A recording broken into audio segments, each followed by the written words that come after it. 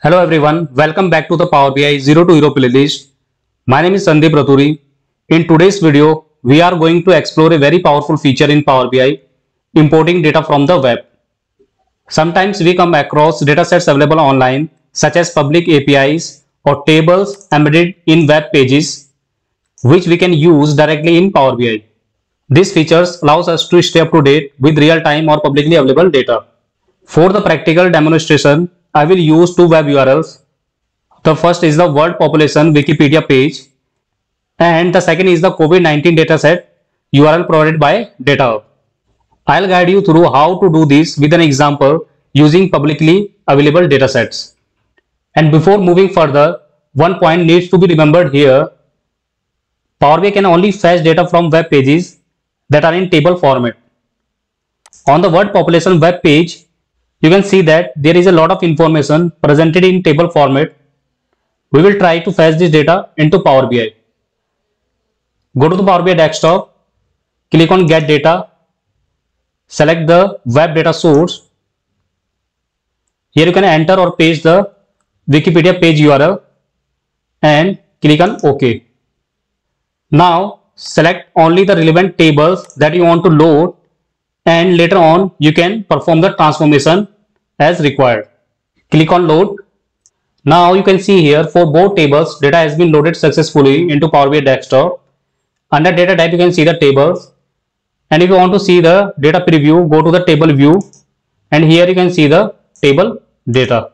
And if you notice here table data is not in proper format so later on we will perform the transformation and we will correct the data format. Now we will load the data from second source. So copy the URL from data website. Go to the Power BI desktop. Click on get data. Select web source and you can paste the URL here. Click on OK. Click on connect. Here you can see the data preview and click on load. So now you can see here countries aggregated data has been loaded successfully. Go to the table view and here select the countries aggregated table and here you can see the data. Now I will show you how you can transform the data. As we saw last time, the world population data is not in valid format. For this table, headers names are not in valid format and in another table, data is not in valid format for analysis. Now we will transform the data for these two tables. For that go to the home tab. Under home tab you can see the transform data once you will open it, it will show you the two options. Select the first option transform data. It will navigate to you Power Query editor window. In left hand side you can see the queries for data. For this query data we will change the format from rows to column. For that go to the transform tab and here you can see the transpose option. Select the transpose option. Now you can see the data has been converted from rows to column. Now we will perform one more transformation Click here and use first row as a header.